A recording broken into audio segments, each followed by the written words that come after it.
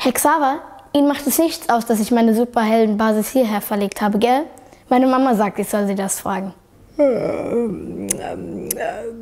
Bei der NASA fühlt man sich auch ein bisschen wie ein Superheld, ja. Ja, ja, ja.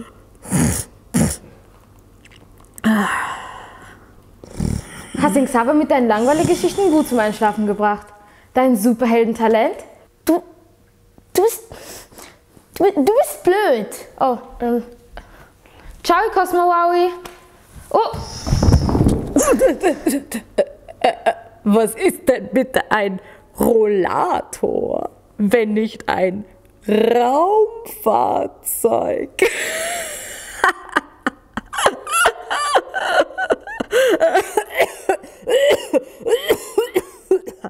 Ähm, ja.